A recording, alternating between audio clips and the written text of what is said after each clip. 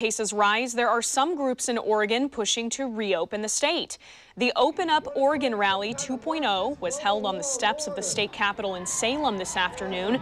The American Patriot Society has hosted several of these events in recent weeks, and organizers say they'll keep them up because they see the governor's mask mandate and restrictions as infringements on their freedom. Our message is about opening businesses, opening schools, re-advocating for that, and the muzzle that everybody's wearing isn't working.